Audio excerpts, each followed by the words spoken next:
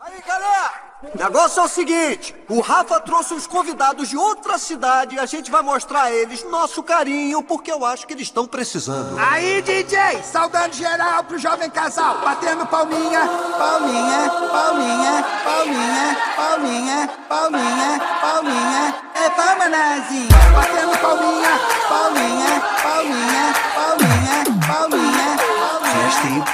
meu amor.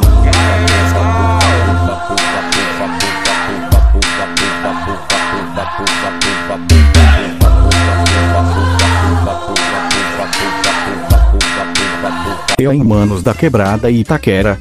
Cheguei nessa porra mais atrasado que o Gil na dividida. Para narrar mais uma vitória do líder da porra toda no Campeonato Paulista de Futebol e Hostilidade. Logo no começo já deixe seu like, porque isso ajuda um mil grau para sair da deprê parar de ser preguiçoso e fazer narração no dia seguinte. Nesta terça-feira, o Coringão foi até o bairro da criminalidade, onde o cidadão vai de fuzil e AK-47 pra padaria. O Coringão enfrentou o Mirassol. Isso mesmo que você ouviu, jogo do timão no estado mais criminoso do país. Com a bola rolando foi só desgraça e mais infartos. Jogo começou e o Mirassol ofereceu mais perigo, mas o Cássio pegou a porra toda.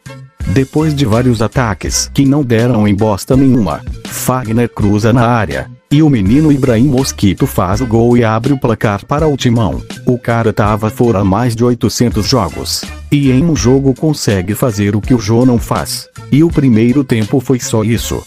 Poucas ideias e muita coletividade na quebrada, no segundo tempo tivemos uma bola na trave do Ramilói de cabeça de Minecraft.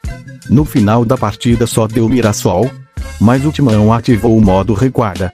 E quando o Timão ativa esse modo você só tem duas opções, ou você toma no cu ou você toma no cu. O foda é tomar pressão de timinho fraco do Mirassol. Mas nesse canal eu tenho o máximo respeito pelo Mirassol, porque em 2013 meteram seis pirocadas violentas na porcada. No final da partida ainda teve uma bola na mão do Fábio Santos. Pênalti para o Mirassol. Quando o jogador do Mirassol bateu Cassião 20 metros de altura defendeu a bola. Se gostou deixe seu like. E se não é inscrito ative o sininho e se inscreva. É nóis.